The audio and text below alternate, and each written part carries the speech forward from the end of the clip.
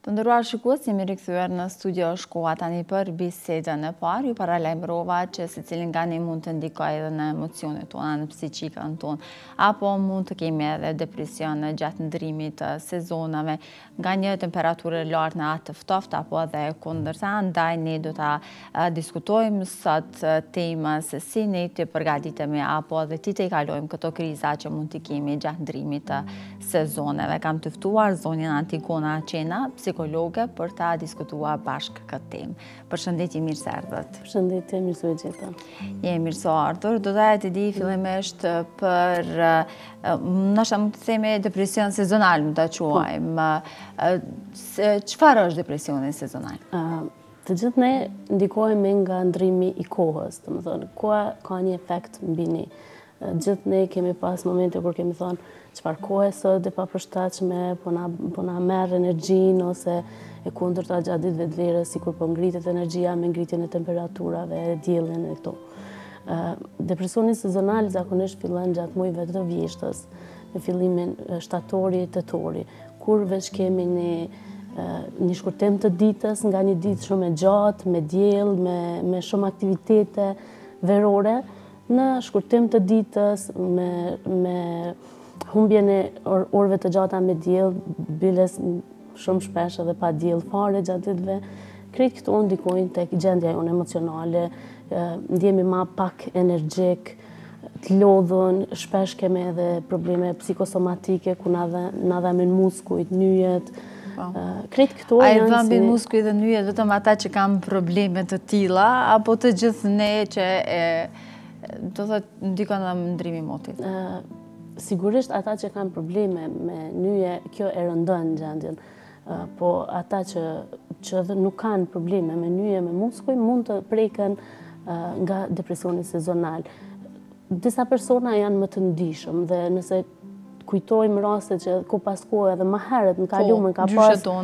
ka pas për shembull gjatë kohës së vjeshtës që është probleme, domethënë që ka diçka që ky personi po, po preket prej prej e kanë qenë një farë lloj parashikuesi i motit nëse mund të po. themi ashtu apo për ndryshime nëse ka ra shi apo dhe ngjajshëm. Cilët persona janë më shumë të ndjeshëm gjatë ndrimit të sezoneve?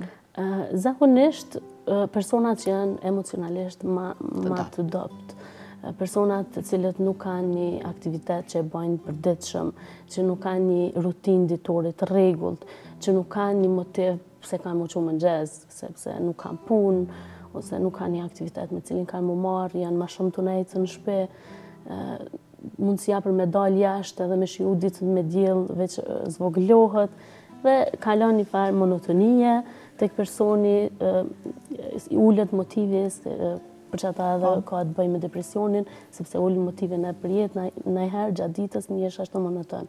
Po, e si ta menaxhojmë një situatë të tillë?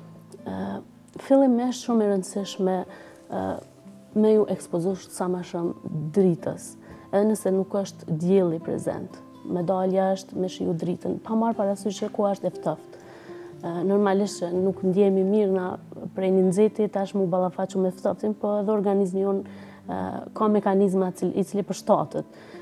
Duhet me dalë jashtë, duhet me ekspozu edhe trupin ndaj të ftoftit, Sepse trupi jonë ka nevojë për dritë edhe truni. Me pas aktivitete rutinë ditore, sport, mos me ndërpre aktivitetet që cilat i ke bo verës, ndoshta mundesh me, me ndrru nëse verës ke shku n'not, edhe dimrit mundesh me, me majtë notin, ose mundesh me shku në skijim, mos me i ndërpre aktivitetet, me qenë gjithmonë aktiv. Me nejt me njerz prap me vazhdu me kujtu momente t'mira prej dimrave të kalun që ke pas dimri pastaj sjell edhe festat po. me mendu për festat, për dhuratat do me thonë me angazhu veten mos me lonë pasiv me pas një orar të rregullt gjumit, me pas orar të rregullt ushqimit, do me thonë me pas një rutin e cila neve na mban në balans emocional. Mhm. Çdo imbalans si gjumit, si ushqimit, ndikon drejtpërdrejt edhe në gjendjen tonë emocionale dhe na jemi më të stresuar edhe kur të jemi stresuar, masanej nuk kemi me mujt m'i menaxhu ndjenjat tona. Mhm. Kështu që një farë rutinë ditore kish me qenë mirëseardhur, me mhm. ndërpre, mos me ndërpre aktivitetet cilat i kemi bo, mhm. me vazhdu ose me qenë kreativ, me fillu aktivitete tjera, po. Po, e rëndësishme është me qenë aktiv. Po. Mos me lanë veten m'u mërzit. Shumë njerës të dobët emocionalisht, ndikon do thotë, siç e thatë edhe ju, dhe moti dhe ndryshimi, po në shumicën e rasteve kemi pasur edhe pasojat nga depresioni i thellë, sidomos në pranverë, apo edhe në vjeshtë.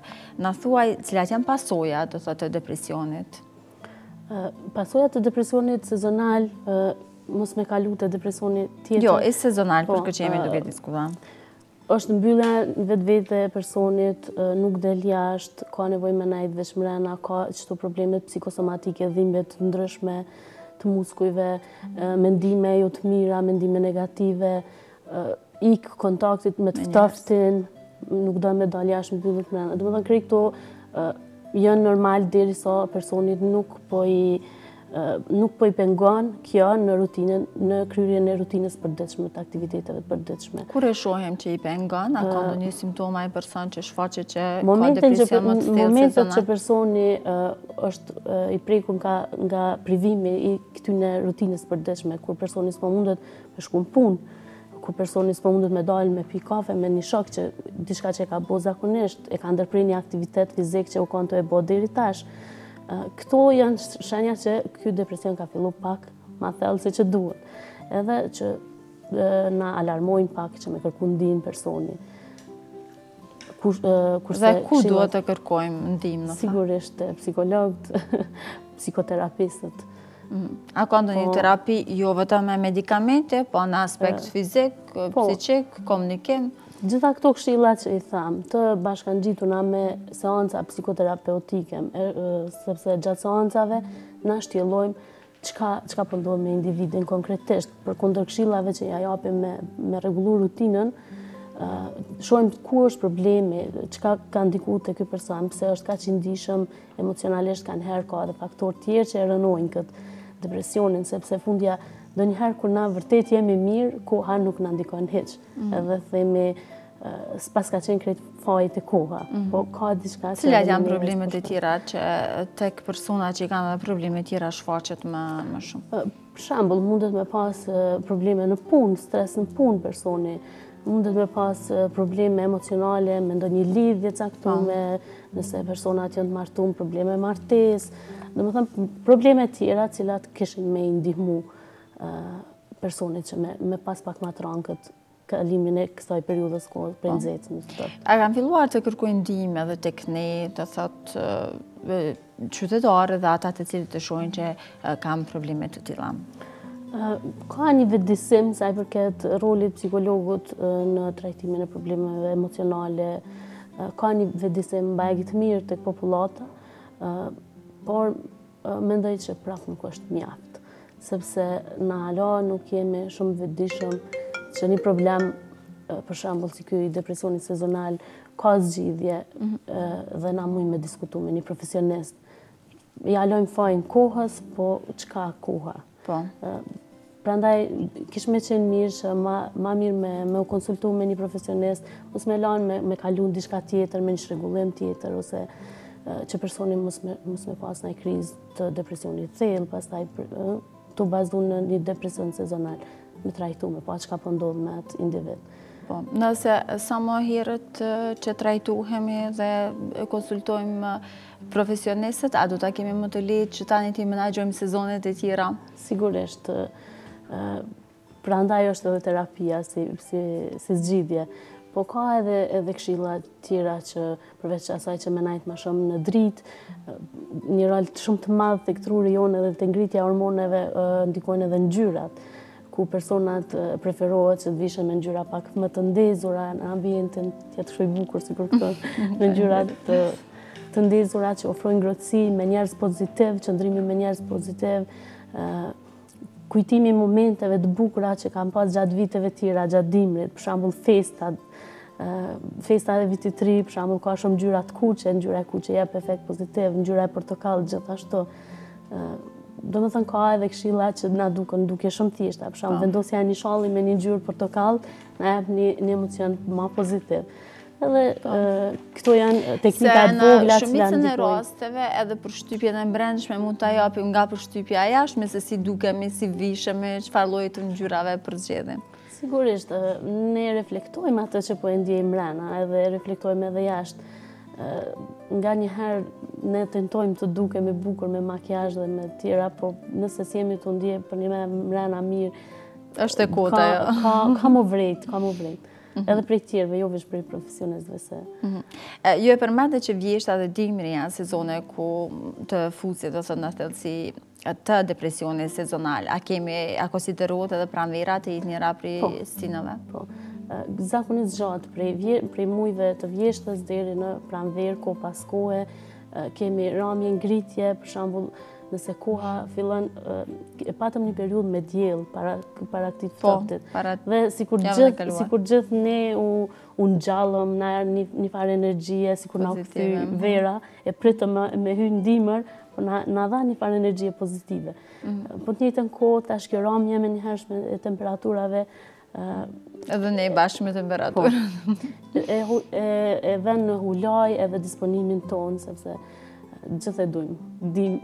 Diellin. Diellin dhe dimri është Pak ma i ftohtë, por që ka edhe bukuritë e tij edhe dimri. Po. Jemi edhe në fund të, të bisedës, por si të dalim nga ky problem, ju dhatë disa këshilla, përveç dukjes, veshjeve, të komunikojmë dhe të dalim jashtë, mos të qëndrojmë brenda, pavarësisht nëse nuk jemi të angazhuar në ndonjë obligim ditor. Këshilla të tjera a keni për shikuesit tanë dhe ata të cilët tashmë nga emisioni kuptojnë që ka një problem të tillë. Okay. Nëse kishim me, fillimisht me pa nëse është me të vërtetë një monotoni e thjeshtë nga një depresion sezonal, apo është diçka më e thellë. Sepse nganjëherë dimë me i ngatrru. Po. Nëse po, ky depresion sezonal që po e qujmë, po ju pengon në kryerjen e rutinës tuj dhe është diçka më e madhe atëherë, ju lutem gjithsesi të konsultoheni me profesionistat Sepse mundet me qenë diçka ma e madhe dhe pse mos me zgjidh problemin kur është i zgjidhshëm. Në rastet kur ato janë veç simptoma të monotonisë, muj me ba diçka, me vendos veten n'lëvizje, mos me lanë, me mendu mendime t'këqija, po me fillu me mendu diçka të pozitive, me telefonu një shokut, me dalë me ta, me bisedu diçka të bukur, është edhe një rutinë tjetër, ndrrimi i rrobave nëpër dollape, me fut veten në aktivitet, mos me lanë veten me qenë pasiv. Nëse shohim prej dritarës që po bjen borë, me marrë atë ndjenjën e bukur që na jep bora përjashtë dhe për shembull një zjarr i ndezur brenda na ofron një farë ngrohtësie. Ka edhe dimni shumë gjana të bukura dhe mos me pa dimnin veç, veç acarin. Po me pa edhe atë ngrohtsinë që është nëpër shpi tona. Po. Faleminderit shumë zonja Antigona. Ne do takohemi për tema tjera të rëndësishme. Faleminderit shumë, por edhe imja po ashtu.